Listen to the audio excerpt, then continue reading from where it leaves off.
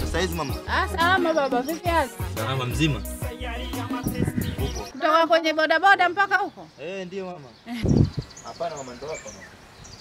Lucy wakutembea na wewe? Wewe wakutembea na Lucy? Unaweza ukatembea na Lucy wewe? Ndio ambao Lucy anipenda sana. Unanichezea akili yangu eh? Si ndio? Unanichezea akili yangu? Hapana.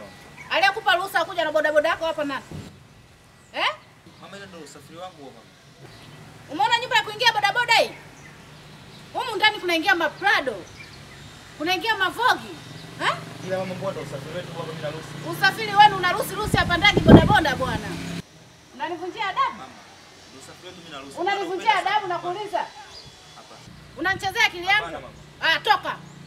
Toka fanya toa uchafu wako hapo. Hebu toa uchafu hapa getini hapa. Mama, Naomba utoke uondoke. Eti namuulizia Rusi. Rusi Unanichezea? Hapana. Au unata... Masai? Hapana mama. Masai. Eh, ndio mama. Maisha ndo yanapopanda na kushuka. Eh, kweli baba. Eh. Eh. Hivi ana uje nyumbani baba. Ah, nitakujaje mama kati sina voge? Karibu. Nitakuja tu. Mungu Pale kwako baba. Hapana mama, sijajenga mimi mama. Ah, muda wote baba unavyojisikia. Haya, asante. Eh. Bwana kupigia simu Ah, simu bwana imebadilisha line bwana.